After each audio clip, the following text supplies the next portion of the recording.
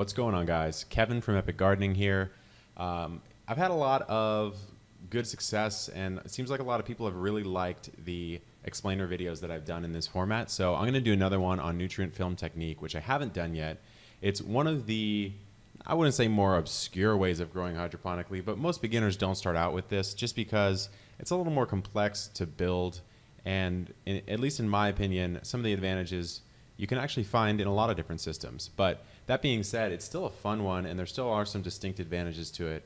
Uh, most notably, the expandability of the system. So, uh, in, in my opinion, nutrient film technique is one of the more expandable systems, meaning you know it's pretty modular. If you wanted to add more uh, channels to it, you could, and you could expand your grow significantly. So let's get into it. Let's see how we build one of these guys. So the first thing you're going to need, as with many systems, is going to be a reservoir.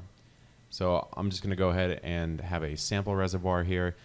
Uh, I, have got posts on my blog about how you can pick the right plastic to use because it actually does matter, and then the types of reservoirs that you can use. You can use like a big, big old uh, tub from Home Depot. You can use a uh, five-gallon bucket. It, it kind of depends on the size of your grow and what you're trying to accomplish. But for now, let's just assume a basic reservoir. So the next thing you're going to need is something to oxygenate the water on a consistent basis. And in almost every case, that's going to be air pump, airline tubing, and an air stone. So let's get that up here. I like to use uh, simple, cheap Petco ones. I don't grow on a huge scale, so I don't need anything more commercial. Uh, and I find that works really well. For a system like this, nutrient film technique, with a reservoir this big, I would probably use one or two of these longer air stones, or I might use circular air stones with suction cups and place one right about here and one right about there, just to make sure that I'm oxygenating the water as much as possible. All right, the next thing we'll need, we're gonna need water pump and tubing. So for this type of system, unlike a deep water culture where all you really have is the air stone and then the roots just grow straight down, we're going to actually need a water pump to pump up into the channel, which you're not seeing yet, but you will see in a second. So uh, let's add the water pump. Again, you don't need a crazy powerful water pump. Something from the aquarium store, Petco, something like that will work just fine. Uh, all right, next thing you're going to need is a timer. Um, nutrient film technique, typically, I don't think this is always the case, but a lot of people will run a timer and do timed feedings uh, instead of just sort of running it on a consistent basis. Honestly, I think in a you know from an optimal standpoint, that one of those is definitely better. I'm not sure which off the top of my head, but you could do either. Um, provided you're not drowning the plants and they're actually getting enough oxygen, enough air, enough uh, nutrients, and enough water, should be just fine, right? Um, okay, so the next thing you're going to need is the channel. And the channel is what makes the system so expandable, in my opinion. You can always add more of these, provided you have all, all the setup correct, all the tubing correct, and, and you make sure that the system is robust enough to be able to handle the extra channel. So I'll add that in here. So as you can see, what's going on here is the water's coming up, and it's getting pumped directly into this channel, which is sloped. So recommended slope is like usually 1 to 30 or 1 to 40. Um, you can do really really slight slopes, but then you're you're risking uh, a potential stall.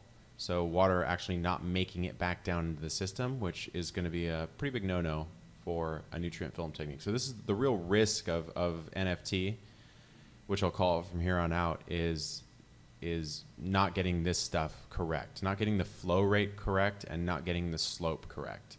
Um, and this, you know, again, this is just an overview, so I'm not going to get into the specifics of that.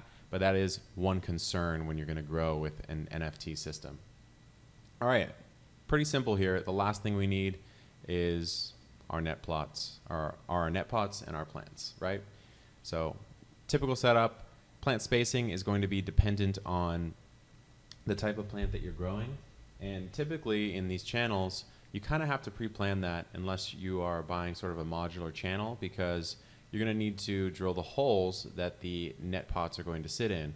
And a typical DIY setup actually doesn't look quite like this. It's usually a large PVC pipe that people are drilling into and, and then seeding the net pots. That's what I've typically seen. And that's what makes it a really cheap and easy and, again, modular setup. Because if you wanted to add um, you, if you wanted the ability to grow more plants, what you would do is either add more channels horizontally, which would be on like the z-axis on this video, so I can't really show you, or or vertically, right? And a lot of times you'll see this sort of zigzagging vertical setup that makes it look not only really cool, but also takes advantage of that slope and that gravity effect to bring the water down and basically let gravity feed the plants uh, after the water is pumped up to the very top channel.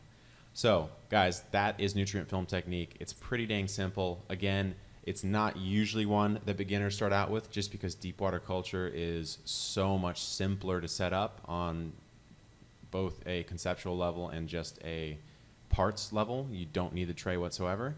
But if you're looking for variety or if you're looking to test something new and try something new out and maybe just grow in a system that looks a little bit cooler, uh, give this a try. I'd love to see any videos that you guys have. And again, if you want a more detailed post about this, you can always check the blog out. If I don't have the full tutorial up now, I'll have it up soon. I'll have the parts list and some examples of systems that you can build. So enjoy and keep growing. This has been Kevin from Epic Gardening. I'll talk to you guys later.